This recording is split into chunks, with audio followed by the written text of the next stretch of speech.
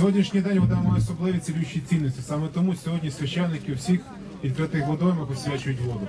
Саме тому сьогодні ми традиційно вранці святили воду на тернопільських водозаборах, щоб в кожній тернопільській домівці з крана текла освячена вода, щоб ця вода змила весь негатив, все зло, весь бруд і всі хвороби.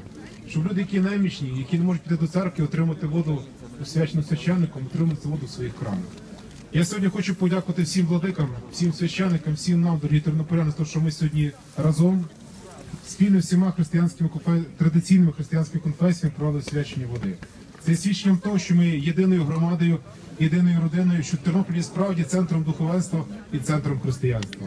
Я бажаю, нехай ця йорданська свячана вода змиє з міста, змиє з України все зло, змиє всіх загарбників, зрадників, змиє всі хвороби, дарує всім нам добро, злагоду, благополуччя, дарує нам натхнення на щоденну працю протягом цього року. Христос хрещається.